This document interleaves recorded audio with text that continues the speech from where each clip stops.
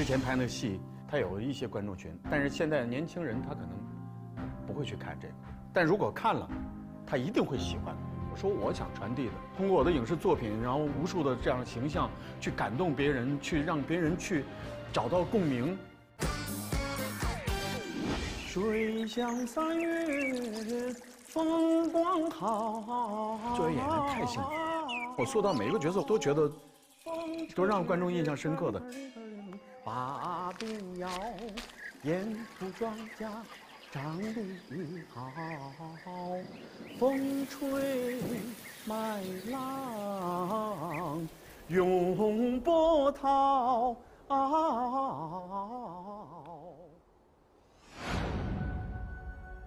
士兵突击是是我的成名作了，应该。张其连的连长高成。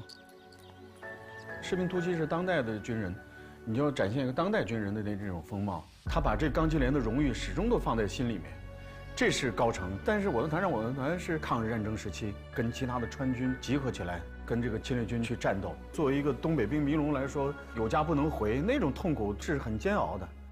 但我觉得，呃，迷龙身上也有热血的东西。他是这个迷失在诺江河畔的来自黑龙江的一条龙。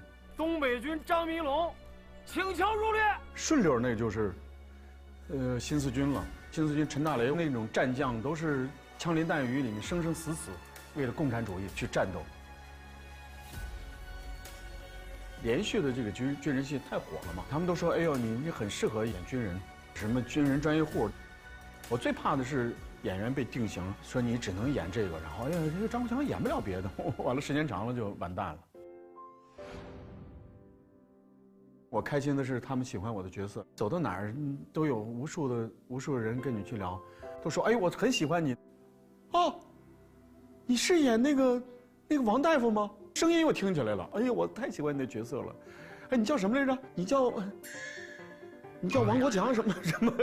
你是王王宝强？不是不是王宝强，你是什么什么什么？就是就那样，就很有意思，你知道吗？你不开心吗？真是特别开心。其实我之前说过，我希望塑造不同的角色，一定是是感同身受的一个事儿，一定是真实的，一定是从生活当中得来的、拿过来的，是有真实的、真实的这个事情的。所以后期的时候，我我演了，我演了呃呃农村的村支书，我演了这个小偷，演了盲人，演了大企业的这个企业家。什么以前这样啊？以前是以前，现在不一样了。经过这么一折腾。要说他了，我尝试不同的角色。演员只有在这样的创作当中，你才会有新鲜感，你才会有创作的冲动。我有你这句话我就够了。我还有别的门路啊！你以为只有你这一棵树啊？王海涛身上也是一个这个社会的一个缩影。说到经济适用男，这是又一个标签这只是赋予这个角色的一个一个标签不是赋予赋予我张国强的一个标签就包括这回的《金山丽海》也是。哎，我觉得。跟杨亚洲导演这次合作，又赋予了我重新塑造一个另一个更加鲜活的角色。他跟你你你问我我都一样啊，那有那都是有血有肉的，你就坚持你自己的想法。你有什么想法，你放心大胆干就完了。之前拍那个戏，他有一些观众群，但是现在年轻人他可能不会去看这个，但如果看了，他一定会喜欢。我说我想传递的，通过我的影视作品，然后无数的这样的形象去感动别人，让别人去找到共鸣。